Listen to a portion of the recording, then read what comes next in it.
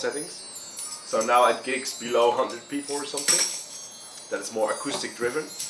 I would only always prefer to play that because then your ears are open, you're not too loud, you can really easy jam together. So so maybe go from uh, from cajon, go to that, and if that's really working and the church is building, and you have a good bass player or whatever, and then you can go into drumming. Um, so that's just my advice. You know, I- every everybody is different, but. Uh, um, Did you? So, yeah. Did you study drums when you were studying music, or did you? yes, I studied drums Okay. and percussion. I, I learned on the way. Yeah, yeah. Yeah, and I think the cool thing about percussion is that every drum uh, represents a country, Mm. sort of, sort of, Culture. yeah. or culture or uh, uh, world part. So um, you know, we have the congas from uh, Latin America, of course, or Cuba, or um, we have the djembes from Africa. This is a bougarabou. That's a drum from Senegal. It's it's more melodic than a than a djembe, and it's cow skin as well, so it has more more like a mixture between djembe and a conga, I would say. Yeah. But I don't know if, that, if that's correct. Uh, we have congas, of course, uh, bongos, drum kit. Uh, this is a, a doombek, more eastern sound. So with, with every drum you can, uh,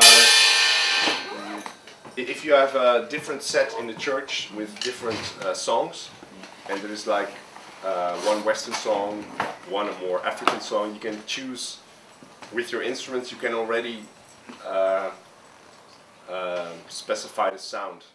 So this is like. So this is more like. Um,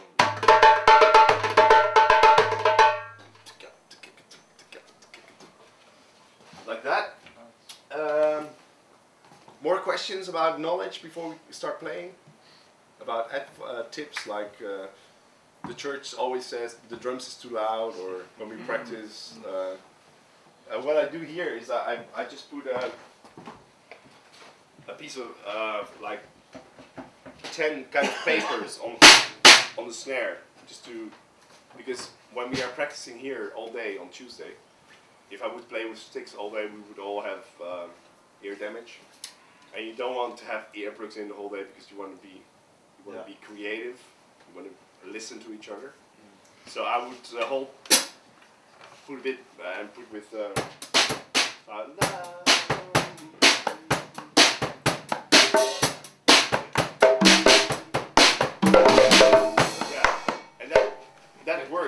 Can you take the paper off and show how it's different?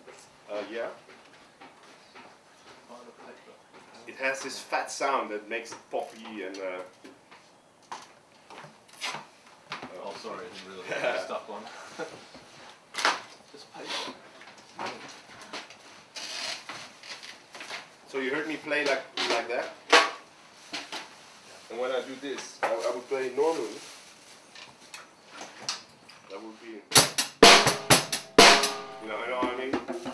And it's not it's not fun for me either, because I only hear myself, and uh, so I enjoy it more like this. It's always about enjoyment, I would say. I often The put a musical towel part. over it. Huh? I often put some towel over it. Yeah, towel can work. Yeah, Yeah. very popular. It's even more radical than this, I would say. Yeah. this um, yeah, has a nice. Uh, in the studio, I sometimes use it as well when Mhm. I don't have a very low snare. So when you have the have the big sound, I just put a piece of paper. And I have the, you have the nice uh, sound.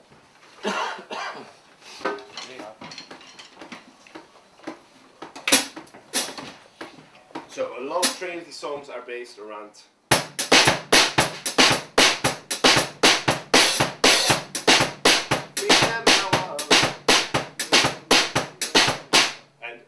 I, I play like this.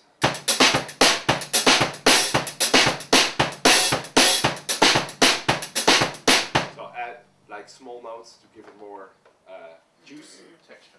Or, or you can play like.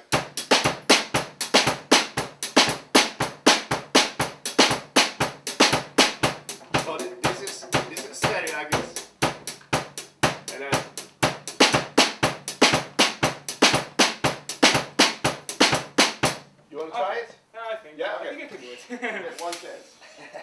One chance. No, this time you need to move on. Yeah. Okay. Keep that going. Yeah, yeah. Yeah. So, so first, first, first keep the high uh, steady and, and the bass drum, Yeah, yeah, yeah. and then, and then you can add that one. Yeah, that's right. Yeah. Snare. Leave out the snare for now, and just, just, just keep trying. And then he can play. Ga, ga.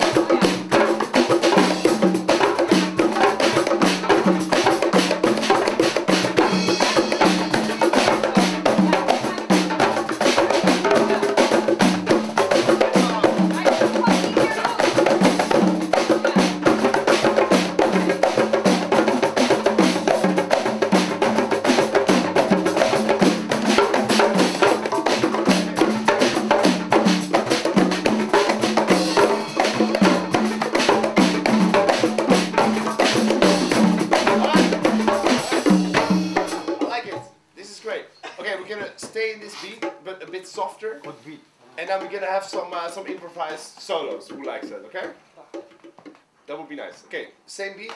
And our Australian name will stop.